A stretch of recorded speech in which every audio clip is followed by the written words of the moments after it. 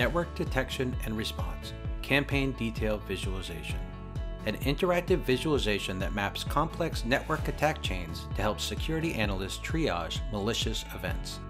Before we dive in, I wanted to remind everyone that cyber attacks occur more often than you might have imagined. Nearly 4,000 new cyber attacks occur every day. Every 14 seconds, a company falls victim to a ransomware attack.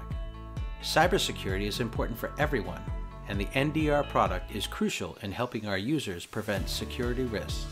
Our primary users are the security analysts and admins. They are the ones who analyze the threats in the network and try to maintain all of the security infrastructure. Their shared mission is to analyze and respond to threats, assess risks, and mitigate security damages.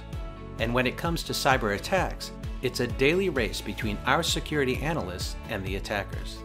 Analysts need to continuously defend and respond fast because once the attackers find a way into the network, they will trigger chain attacks and usually will not stop until they achieve their goal. Thus, speed is the key to defend against attacks. Here's a look at our existing product, the NDR Defender. As you see on the screenshot here, the design uses separate cards on the screen. The cards lead users to different pages for threats and hosts and attack information. But this clicking process can be cumbersome and may cause friction.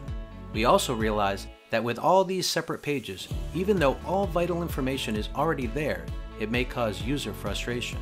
They'll need to move back and forth in the product in order to get the whole picture of an attack chain. Through this observation, we've identified our UX design goals to be streamline the experience, consolidate key information, and minimize navigation friction for the users. So we focused on basic threat detection to surface the essential information for users.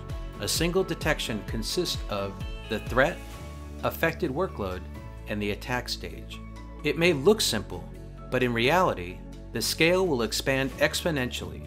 In chain attacks, threat detections may come in huge numbers, and users can easily be overloaded with alerts. Also, there's complex connections between threats and workloads. Not to mention that users also need to consider the score each detection may receive according to its impact. To help users work with clarity and speed, we designed a simple way to visualize this information. After many iterations, here's the final product. We lined up the three key elements, threat, workload, and attack stage by severity. By mapping the connections between them, users can easily understand the correlations between each of them. This allows easy comparison and identification of items that demand immediate attention from the user.